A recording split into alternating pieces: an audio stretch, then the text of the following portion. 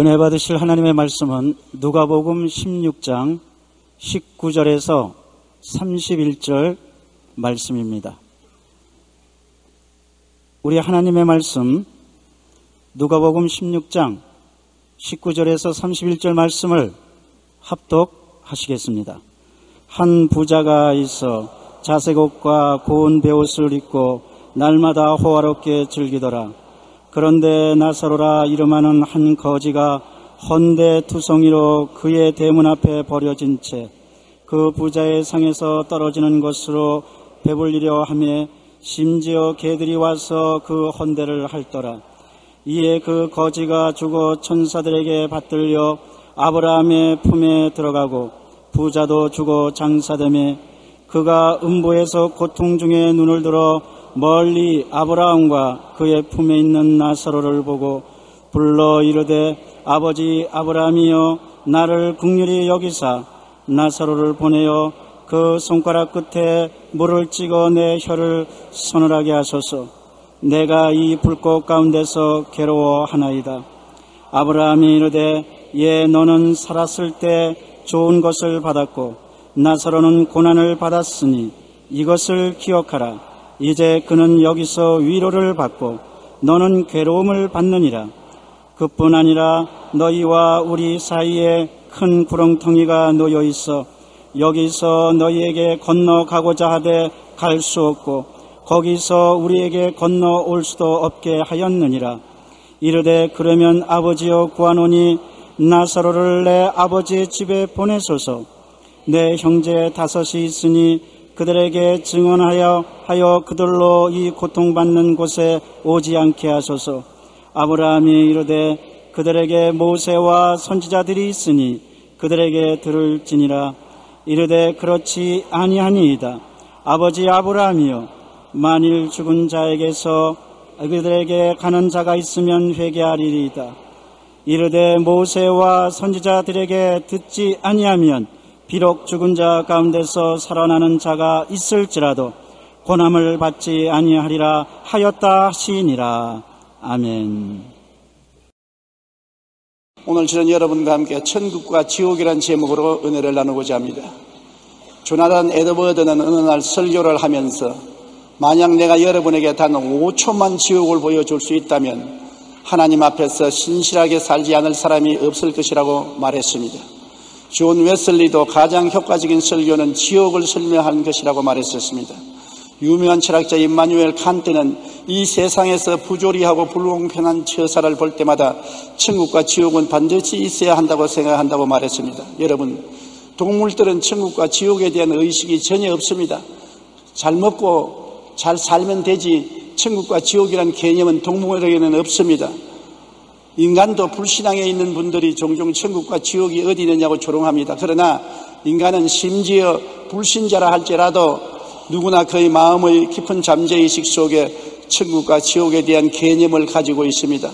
사후의 세계에만 천국과 지옥이 있는 것이 아니라 현실 세계 속에 이미 우리는 천국과 지옥이 있는 것을 역사적으로나 현실적으로 체험하고 있습니다. 천국이 어디 있냐, 지옥이 어디 있냐, 죽어서 갈 때까지 기다릴 필요 없이 이미 이 땅에 사는 동안에 우리는 천국도 체험하고 지옥도 체험하는 것입니다. 마음속에 체험하는 천국과 지옥이 미래에 있을 천국과 지옥을 대표적으로 보여주는 것입니다. 육체적인 쾌락과 욕망에 끌려 살며 거짓과 미움과 분노와 불안, 공포, 낙심, 좌절, 절망의 수렁에 빠져 허우적이며 사는 삶은 이미 그 마음에 지옥을 경험하고 있습니다. 이 세상에서 불안과 공포와 초조와 좌절과 절망과 미움과 분노에 꽉들어 사여서 술로 세월을 보내고 폭력으로 세월을 보내는 그 사람의 마음에 지옥이 안 들어있고 무엇이 들어있습니까? 지옥 같은 마음에 고통을 느끼게 되는 것입니다. 그러므로 이미 이 세상에 사는 동안에 마음의 지옥을 체험한 사람이 많습니다.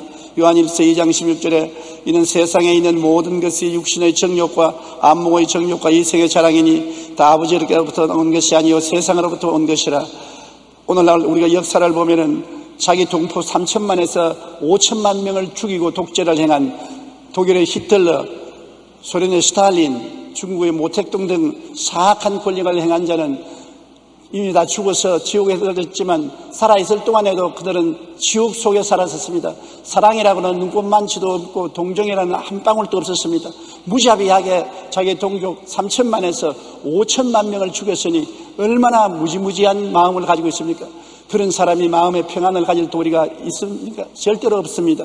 야고보서 4장 14절에 내일 일을 너희가 알지 못하는도다 너희 생명이 무엇이냐 너희는 잠깐 보이다가 없어지는 안개니라 잠깐 때가 사라지는 안개 같은 자기 생명 마음대로 주장하지 못할 생명을 가지고 있으면서 수많은 사람을 불행에 빠뜨리고 고통을 줄 때 자기 마음에 평안이 있을 택이 있습니까? 없습니다. 히트러도 평안하게 죽지 못했습니다. 스타린도 눈을 뜨고 미친 듯이 괴성을 부르고 몸부림치다가 죽었습니다. 고통을 당하다가 이 세상을 떠난 것입니다. 우리 인생은 히브리서 9장 27절처럼 한 번 죽는 것은 사람에게 정해진 것이요 그 후에는 심판이 있으리라. 누구든지 반드시 이 세상에 사람 그대로 심판이 있는 것입니다. 심판을 어떻게 받을 것이냐? 이미 내 마음 속에 내 심령이 나를 심판하고 있습니다. 내 마음에 고통과 괴로움과 불안과 처절한 고통이 있으면 지옥이 벌써 내 마음에 있고 지옥의 심판이 나를 기다리고 있는 것을 알 수 있는 것입니다. 영화 제작자로 20대 세계적인 억만장자가 된 미국의 하워드 휴즈는 말년에 정신병에 걸렸습니다. 그는 많은 재산이 있었지만 머리도 깎지 않고 손톱도 매 손톱같이 길어지고 병균이 있을까 싶어서 사람들과 만나지 아니하고 음식도 닭 수프만 먹다가 영양실조에 걸려서 죽었습니다. 그가 죽고 난 다음에 누구 한 사람 와서 울어줄 사람도 없고 위로해 줄 사람도 없었습니다. 억만장자였지만은 그 마음은 생지옥에 있었습니다. 그렇게 살아서 무엇을 합니까? 벌써 살아있을 동안에 그런 지옥을 체험한 것입니다. 미국의 석유왕 폴 게이트는 역시 엄청난 부자로 말년에 그가 영국에 있을 때 한번 신문 기자가 물었습니다. 폴 게티 씨, 당신의 인생은 행복했습니까? 그러자 그는 행복이 어디 있느냐고 버럭 고함을 치고 말았습니다. 세계적인 부자였지만 그는 진정한 행복이 무엇인지 몰랐습니다. 돈이나 지위나 명예나 권세가 평안과 기쁨과 행복을 가져오지 못하는 것을 보여주는 것입니다. 이 세상의 쾌락과 부귀 영화와 공명으로 인생의 자랑을 삼고 그것이 인생의 참 가치인 줄 알고 그 안에 안주하는 사람들의 채우는 이처럼 외롭고 쓸쓸하며 처참합니다. 이들의 삶은 재물과 명예와 영화로움으로 겉으로는 화려한 듯 하지만 마음속에는 지옥을 경험하고 사는 것입니다. 벌써 지옥에 내려가기 전에 마음속에 지옥으로 꽉 들어찬 것입니다. 욕심과 탐심과 욕망으로 꽉 들어찬 그 마음에는 지옥불이 활활 타고 마음의 기쁨과 평안은 찾아볼 수가 없은 것입니다. 그러나 우리가 주 예수님을 믿고 죄를 회개하고 믿음의 소망, 사랑, 평강, 희락, 진실, 거룩함을 갖고 살며 하나님께 기도드리고 감사하며 교회에 나가고 성도들과 교제하며 마음의 평안과 기쁨을 갖고 살면 이미 천국이 우리 마음속에 들어온 것입니다. 우리가 옛날에 예수를 모르고 세상에 살다가 예수를 믿고 난 다음에 하나님께 술과고 무거운 짐을 다 맡기고 성령으로 충만할 때 마음에 얼마나 놀라운 믿음, 소망, 사랑, 의, 평강이 강물같이 넘치지 않습니까? 벌써 마음속에 천국이 들어와 있는 것을 느낄 수가 있는 것입니다. 누가복음 17장 21절에 또 여기 있다 저기 있다 못하리니 하나님의 나라는 너희 안에 있느니라 하나님의 나라는 우리 마음 속에 언제나 임하여 있는 것입니다. 우리가 이 세상 환경이 아무리 어렵더라도 예수님이 마음 중심에 계시고 우리가 성령으로 충만하고 기도하면서 살면은 마음의 평화가 바로 천국인 것입니다. 이 세상의 부귀영화 공명보다도 가장 중요한 것이 마음의 평안입니다. 마음의 평안은 돈 주고 못 삽니다. 지위나 명예나 권세를 주고 살 수 없습니다.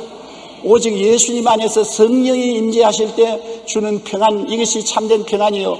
평안이 있어야 행복한 것입니다. 평안하게 잠자리에 들어가고 평안하게 깨어나고 하루를 살아도 마음속에 평안을 가지고 살 수 있으면 그것이 행복이요. 천국이 바로 그 마음속에 있는 것입니다. 마음이 평안이 없고 불안하고 초조하고 공포가 있고 마음에 답답한 마음을 가지고 있으면 자도 편하지 않고 깨어나도 편하지 않고 밥을 먹어도 편하지 않고 하루 종일 친구를 만나도 편하지 않고 마음속에 불안이 꽉 들어차면 그는 사는 것이 아니라 벌써 지옥을 맛보고 있는 것입니다. 우리가 또한 사회적 천국과 지옥도 체험하고 있는 것입니다. 오늘날 이 세계가 지옥 속에 있는 세계도 있고 천국 같은 세계도 있는 것입니다. 정부의 권위와 법 질서가 무너진 나라를 생각해 보십시오. 폭력과 집단 난투와 부정과 부패가 만연하고 빈부 격차가 심하고 가정과 사회 질서가 문란하고 평화가 사라지고 도, 도둑이 들끓고 신용이 사라지고 사회 보장이 무너지고 이러한 생지옥의 사회가 되면 벌써 이 세상 사는 것이 지옥인 것입니다. 여러분 장지글러의 왜 세계의 절반은 굶주리는가라는 책에는 세계 기아 현황이 보고되어 있는데 유엔 식량농업기구가 2006년 10월 로마에서 제출한 보고서에 보면 2005년에 기아로 인해 희생당한 사람은 이렇습니다. 10살 미만의 아동이 5초에 한 명씩 굶어서 죽었고 비타민 A 부족으로 시력을 상실한 사람이 3분의 1명꼴로 있었으며 세계 인구의 7분지 1에 이르는 8억 5천만 명이 심각한 만성적인 영양실조에 걸려 죽어가고 있다고 말했었습니다. 또한 FAO 평가에 의하면 북한은 2006년 식량 부족으로 2,300만 인구의 다수가 만성적인 영양실조에 시달리고 있다는 것입니다. 이러한 세계가 바로 지옥 아닙니까? 못 먹고, 못 입고, 못 살고, 그리고 폭력이 난무하고 부정부패가 심하고 인종차별이 심한 이러한 세계와 상황은 바로 살아있는 지옥인 것입니다. 왜 이런 일이 벌어집니까? 정부의 권위와 법 질서가 무너져 폭력과 집단 난투와 부정부패가 만연하면 빈부격차가 심해지고 평화가 사라지고 약자는 무참히 짓밟힙니다. 바로 이러한 것을 생지옥이라고 말할 수 있는 것입니다. 오늘날 신문에 보면 범죄 천국이라 그런 말이 있는데 범죄 천국이 어디 있습니까? 범죄 지옥이지. 사회 질서가 무너지고 범죄가 횡행하면 범죄 천국이 아니라 범죄 지옥인 것입니다. 그러므로 사회가 생지옥이 될 수 있고 정부가 생지옥이 될 수 있는 것입니다. 우리가 이락을 봅니다. 나라가 무너지고 날마다 폭력이 있고 테러가 있고 사람을 죽고 파괴가 이루어지는데 생지옥입니다. 그 살아있다고 할 수 없는 것입니다. 그런 나라에 살지 않는 것을 감사하게 생각해야 되는 것입니다.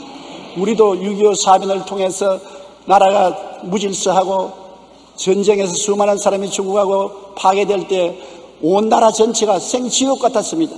내일을 예견할 수 없는 비극 속에 살았습니다. 그러나 그때 비교하면 지금 우리가 사는 우리 한국 사회는 천국입니다.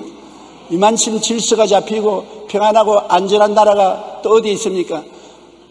그래도 평안한 마음으로 밤거리에 걸어다닐 수 있는 나라가 오늘날 이 세상에 얼마나 있습니까? 벌써 나라, 나라도 지옥 같은 나라도 있고 천국 같은 나라도 있는 것입니다. 베드로전서 5장 8절로 9절에 근신하라 깨어라 너희 대적 마귀가 우는 사자같이 두루다니며 삼킬 자를 찾나니 너희는 믿음을 굳게 하여 그를 대적하라 마귀는 우리의 환경을 혼란하게 만들고 부정적으로 만들고 살기 어렵게 만들기 때문에 우리는 항상 마귀를 경계하고 대적하고 물리쳐야 되는 것입니다. 에베소 6장 12절에 우리의 씨름은 혈과 육을 상대하는 것이 아니요 통치자들과 권세들과 이 어두움의 세상 주관자들과 하늘에 있는 악의 영들을 상대함이라. 마귀는 수많은 귀신떼를 거느리고 개인도 가정도 사회도 국가도 혼란과 고통 속에 빠뜨리기를 원합니다. 도적질하고 죽이고 멸망시키고 무질서하게 만들어서 생지옥을 만들려고 하는 것입니다. 그렇기 때문에 우리는 항상 주님 앞에서 기도하고 마귀를 대적하여 물리쳐야 되는 것입니다. 여러분 정치가 안정되고 정부의 법 질서가 확실하고 사회 질서가 정연하고 부정부패가 사라지고 빈부격차가 줄어들고 사회보장제도가 견실하고 신용이 살아나고 집단 폭력이 사라지고 윤리와 도덕이 있어고 교회가 그 사명을 다하여 사회의 빛과 소금이 되며 시민이 평화롭고 꿈과 희망을 갖고 사는 사회는 이미 천국입니다. 이 땅에 사는 동안에 벌써 그런 나라는 천국이라고 말할 수 있는 것입니다. 나는 이런 이야기를 읽어본 적이 있습니다. 한 부인이 세상살이가 너무 힘들어서 자신을 하나님께 계신 곳으로 데려가 달라고 기도를 했습니다. 하루는 천사가 나타나서 하나님이 내 기도를 응답했으니 곧 너를 데려가겠다. 그러나 네가 할 일이 있다.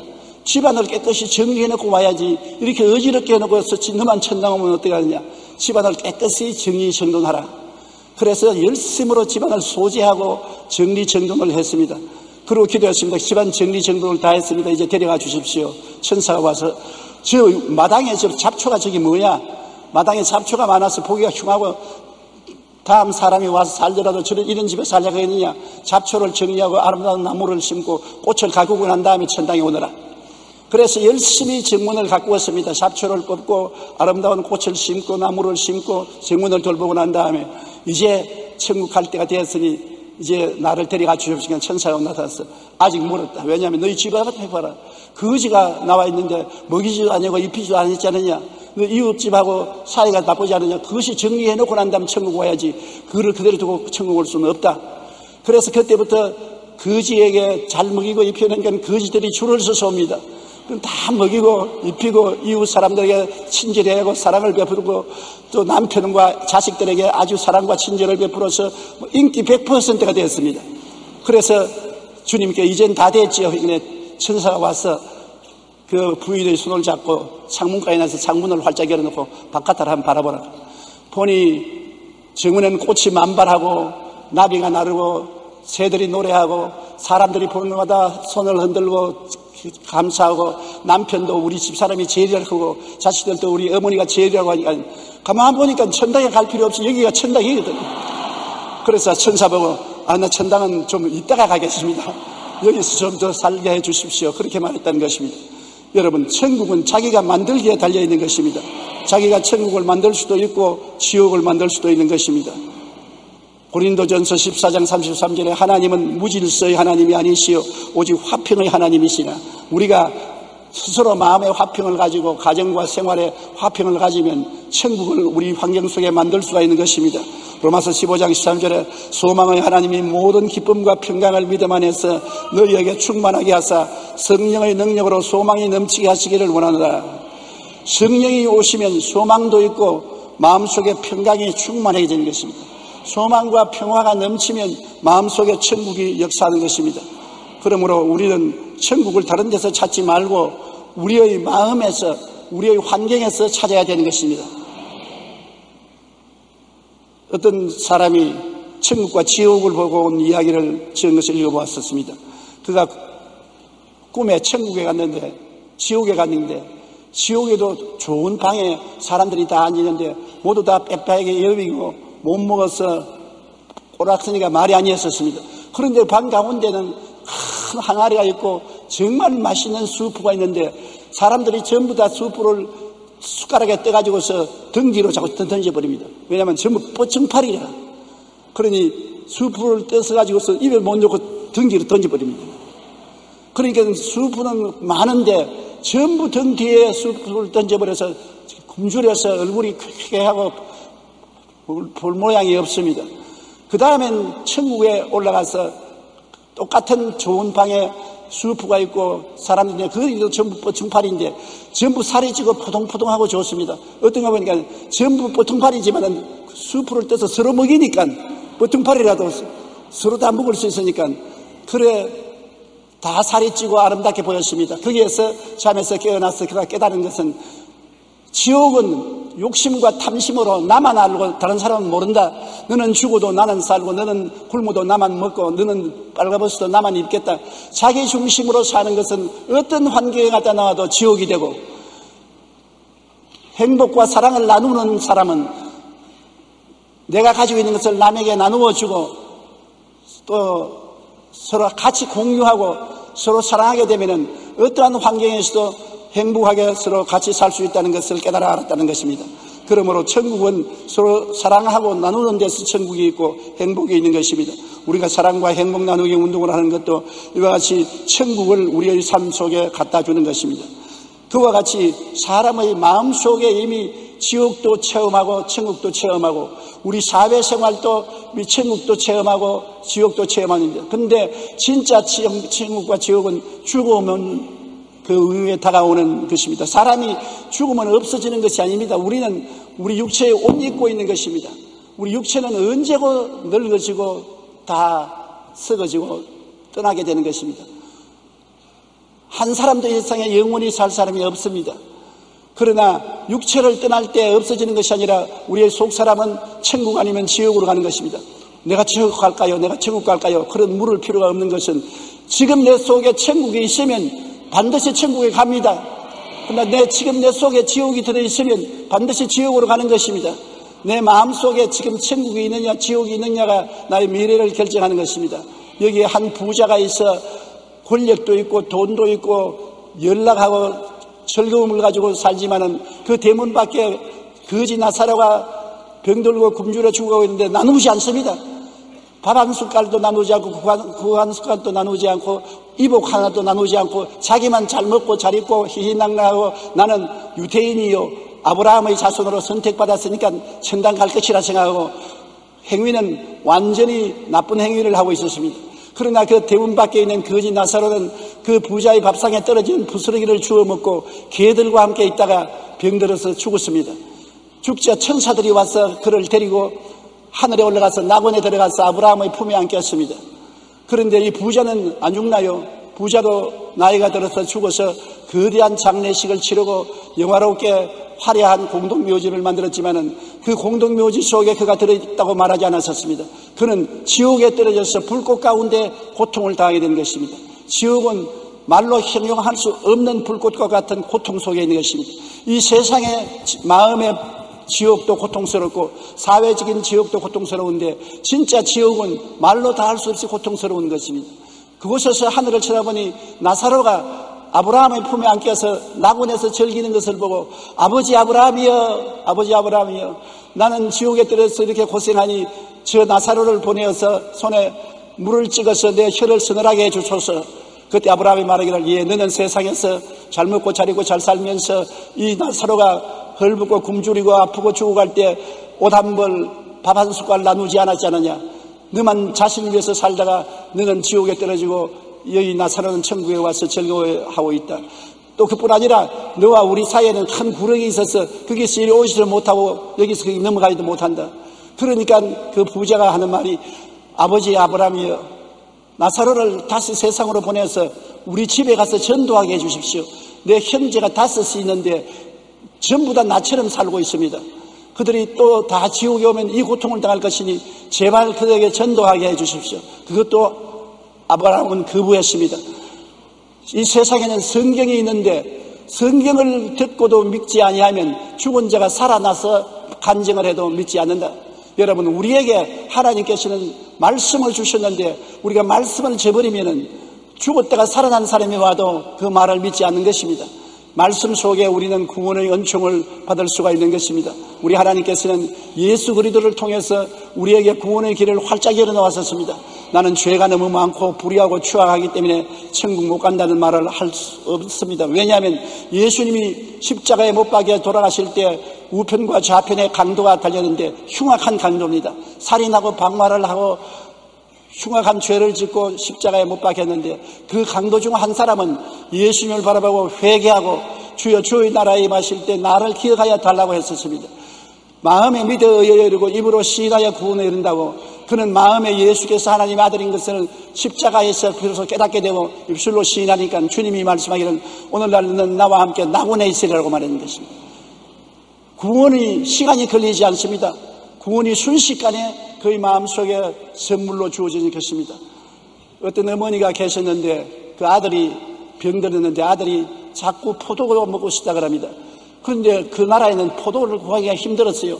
어머니가 포도를 구하러 온데 돌아다니도 없는데 왕궁에 그 담벼락에 포도가 탐스럽게 달려있는 넝굴이 있었습니다. 그래서 왕궁 측에 가서 포도를 한 송이만 팔아달라고 한 송이에 백불 주겠다 그러니까 안, 안 판다고. 그러면 한 송이에 200불 주겠다. 그래도 안 판다고. 300불 주겠다 해도 그래도 안 판다고. 그래서 그 어머니는 땅에 주저앉아서 울었습니다. 통과를 울고 있으니까 공주가 나와서 왜 우느냐? 포도를 가져가야 우리 아들이 먹고 살겠는데 포도를 안 판다고 하니 그렇다니까 그 공주가 이 포도는 파는 포도가 아니라고 이 포도는 임금님의 포도인데 임금님은 포도를 팔지 않고 공짜로 준다고 당연히 필요한 사람이 구하면 공짜로 주는 것이지 돈 주고 사는 것이 아니라고 그래서 달라고 구하면 주겠다. 이러니까, 아니, 포도를 그럼 좀 달라. 이니까 임금님이 나와서 포도를 따서 탐스러운 포도를 공짜로 주시더랍니다. 여러분, 구원은 이와 같은 것입니다. 구원은 돈 주고 못 사요. 100불, 200불, 1000불, 만불, 10만불, 100만불, 1000만불, 1억을 줘도 못 사요. 구원은 임금님이 원하는 사람에게 주는데 구하라 주실 것이요 찾으라 찾을 것이요 문을 두드리라 열릴 것이라고 예수 그리스도를 우리가 구하기만 하면은 구원은 공짜로 우리에게 주시는 것입니다. 하나님이 세상을 이처럼 사랑하사 독생자를 주었으니 누구든지 저를 믿으면 멸망치 않고 영생을 얻으라고 말한 것입니다. 그러므로 우리가 예수 그리스도를 믿으면 강도가 낙원에 간 것처럼 낙원에 갑니다. 바울 선생이 셋째 하늘에 올라가서 사람의 말로서 말할 수 없는 영광스러운 말을 들었다고 했습니다. 바울 선생 같은 분도 낙원에 올라가서 낙원을 보고 감탄했습니다. 그 낙원에 우리는 들어갈 것입니다. 성경에 요한 계시록에 요한은 이기는 그에게는 내가 하나님의 낙원에 있는 생명나무의 열매를 주어 먹게 하려고 말한 것입니다. 불신앙을 이기고 마귀를 이기고 예수님을 끝까지 잘 믿은 사람은 낙원에 들어갈 수 있게 되는 것입니다. 그러나 낙원에 못 들어가면 그 다음 갈 것은 음부 아닙니까? 음부에 들어가면 얼마나 고통스럽겠습니까? 미국의 목사요, 교수요, 시인인 벤 다이커의 대저택이라는 소설에 이런 이야기가 있습니다. 어떤 부자가 천국에 가서 천국의 안내를 받으며 여기저기 보고 다니는데 굉장히 좋은 저택이 있거든요. 감탄하라고, 야 이렇게 좋은 저택을 누구를 위해서 지은 저택이니까 당신 하인을 위한 집이라고. 우리 하인을 위해서 어떻게 저택을 지었습니까? 하늘은 잘못한 것이 없어.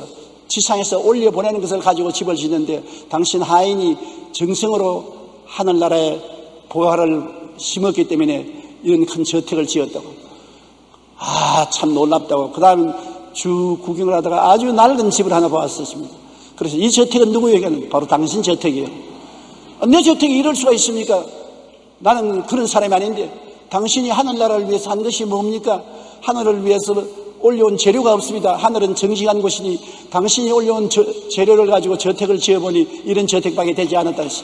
그래서 이 사람이 꿈에서 깨어나고 난 다음부터 마음과 뜻과 정성을 다하여 하나님 나라 위해서 수고하고 일했다는 글을 읽어본 적이 있는 것입니다. 여러분, 우리가 이 땅에 살면서 하나님의 나라를 위해서 힘써 일하는 것은 장차 우리가 하늘에 올라가서 하나님의 축복을 받을 씨앗을 심는 것입니다. 사람이 임종이 되면은 그 사람이 천국 가는지 지옥 가는지 알 수 있다는 이야기가 있습니다. 종교개혁자이자 장로교의 창시자였던 존 칼빈은 사람은 그 죽는 것을 보아야 그 삶이 어떠했는지를 알 수 있다고 말하는 것입니다.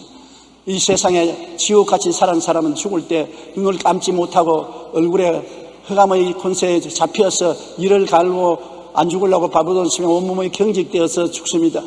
저는 50년 목회하면서 많은 사람을 수위를 입히고 환속에 넣는 일을 했습니다. 옛날에는 다 가난했기 때문에 장의사에서 와서 하지 못하고 목사가 그 일을 다 했습니다. 그런데 어떤 사람들은 보면 아주 옷을 입히는데 팔이 나긋나긋나긋 해요. 다리도 나긋나긋하고 옷 입으라 하면 싹, 싹. 관에 들어가라 하면 살 들어가고 어떤 사람은 팔이 너무 뻣뻣하고 다리가 뻣뻣해서 옷을 입힐 수가 없어서 팔을 꺾고 다리를 꺾어야 넣습니다. 그래서 그 가족들이 이제 그런 질문을 합니다. 우리 아버지 천국 갔겠지요? 우리 어머니 천국 갔겠지요? 내가 보기에는 그 죽은 시체를 보니까 천국 간 사람도 있고 안 간 사람도 있습니다. 나는 간 사람은 틀림없이 천국 갔습니다. 이렇게 마음의 기쁨을 가지고 가기 때문에 몸도 부들부들하고 야들야들하고 좋은 것 보니 천국 갔습니다. 근데 몸이 뻣뻣하고 굳어지고 긴장되어 있는 사람 가족이 우리 아버지 천당 갔겠지요. 우리 어머니 천당 가겠지요. 하면 그 갔을 갔겠지요. 갔던 말을 할 수 없었고 또안 갔다 갈 수도 없고 갔겠지요. 그렇게 말을 합니다. 확실히 죽은 시체를 보면은 천국 간 사람은 얼굴에 웃음을 웃고 몸에 긴장이 하나도 없어요. 몸이 다 야들야들하고 부드러워요. 왜냐하면 속에서 너무 즐겁고 기뻐서 할렐루야를 하고 가니까 몸도 긴장이 안 됩니다. 그러나 천국에 못 가고 지옥에 가는 사람은 마귀에게 끌려갈 때 이를 깨물고 반발을 하고 주먹을 쥐고 몸부림을 치기 때문에 몸에 긴장이 되고 뻣뻣한 것입니다. 한국의 유명한 부흥사였던 사랑의 배달부라고 부르던 길선주 목사님은 임종시의 주변에 있던 사람들에게 하늘에서 내게 전부가 왔어. 이제 떠나야 돼. 다들 잘 있게. 그렇게 말하고 떠났습니다. 아, 주변에 있는 친구들을 보고 하늘에서 내게 오라는 전부가 왔어. 이제 내가 떠나야 돼. 잘 있게. 그러고 떠났습니다. 선당한 일이 얼마나 확실합니까? 미국의 유명한 부흥사였던 무디 목사는 죽기 전에 그를 임종하러 모여있는 자녀들과 많은 일가 친척 앞에서 갑자기 벌떡 일어나더니 이렇게 말했었습니다. 영광이로다. 땅이 물러가고 하늘이 내게 다가오는 도다. 그리고 여러분 내일 아침 신문에 무디가 죽었다고 보고되더라도 믿지 마세요.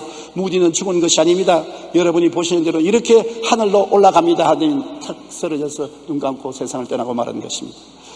우리의 사후의 세계는 분명히 있습니다. 인간이면 누구든지 나고나 아니면 천국 음부로 가야만 합니다. 그것은 우리가 이 세상에 살면서 뿌린 씨앗을 열매를 그대로 거두는 것입니다. 우리가 우리의 선한 행위로 구원받는 것은 아닙니다. 예수 그리스도께서 우리의 죄와 불의 추악과 저주와 절망을 걸머지고 십자가에서 한없는 고통과 괴로움을 다하여 우리의 죄악을 다 청산해 주었기 때문에 예수님을 구주로 모셔야만 죄사함을 받을 수 있는 것입니다. 인간의 선한 행위로서는 결코 천국을 갈 수 없습니다.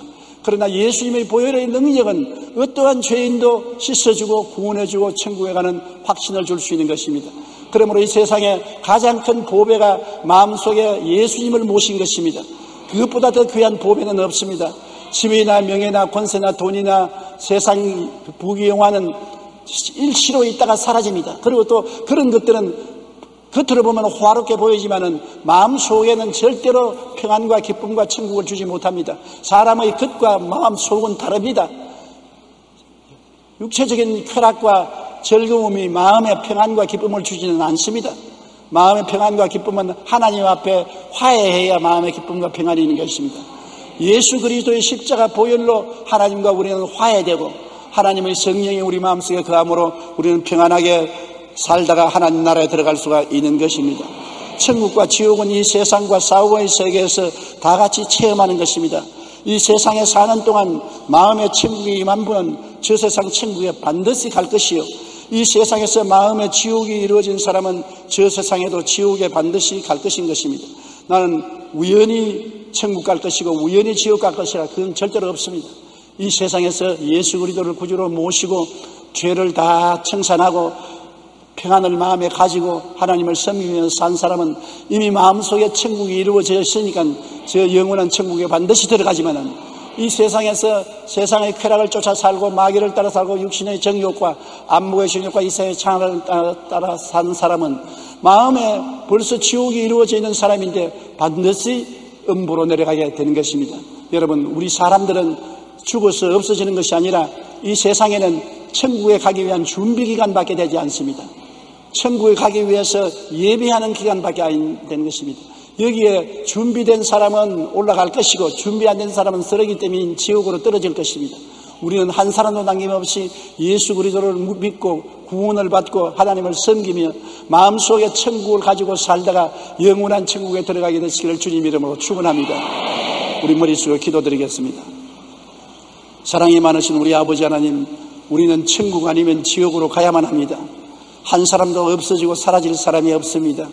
내 아버지 하나님 천국 길을 열기 위해서 하나님께서 예수님을 보내주셔서 십자가의 보혈로 우리 죄를 청산해 주신 것을 감사합니다. 우리는 죄를 짓고 불의하고 추악하고 버림을 받아야 마땅 함에도 불구하고 주님을 믿음으로 그 보혈의 능력으로 죄 사함을 받고 성령이 와서 하나님의 평화로 우리 마음속에 채워주시고 천국을 마음속에 주심을 감사합니다. 천국은 여기 있다 저기 있다 할 것이 아니요 우리 마음에 있다고 말하셨습니다. 내 아버지가 이 땅에 사는 동안에 이미 마음의 천국을 체험하는 사람도 있고 지옥을 체험하는 사람도 있고 우리 사회와 국가가 천국 같은 곳도 있고 지옥 같은 곳이 있는 것입니다. 그와 같이 사후에는 반드시 천국이 있고 지옥이 있습니다. 내 아버지 하나님이세요. 우리는 다 예수님을 통하여 회개하고 주님 믿고 천국 가게 도와주시옵시고 지옥에 떨어진 사람 한 사람도 없게 만들어 주시옵소서. 예수님 이름으로 기도드립니다. 아멘.